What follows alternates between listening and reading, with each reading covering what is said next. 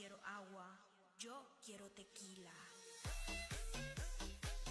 Okay, I'm making myself a cocktail because I just made myself some Roselle simple syrup using honey. So I've got two tablespoons of tequila. Go ahead and pour in all five tablespoons of that since I don't have any ice anyways. And then some bubbles. And like I said, I used honey on it, so ooh, bubbly. And gotta give it a lot of stirring. Look at, look what it's doing. Oh my god.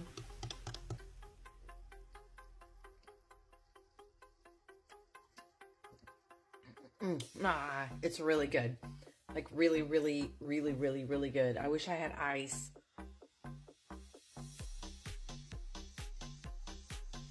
And tequila. Mm-hmm. Tequila, honey, roselle, um, and you could just make it without the tequila. You can make it without the honey, bubbles. You know, you can use regular water and just make tea.